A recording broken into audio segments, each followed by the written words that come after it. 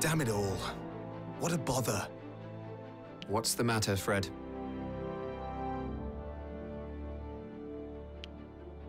I was having a quiet stroll through town when suddenly I was beset by a large mob.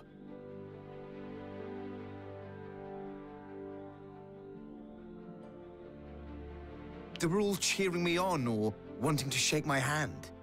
I didn't know what was happening.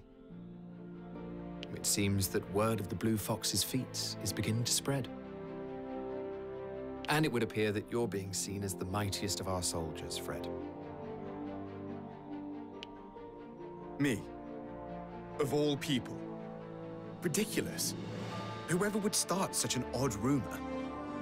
There's nothing wrong with having the glowing adoration of the people. I suppose not, but I'd rather not be hounded every time I take a walk.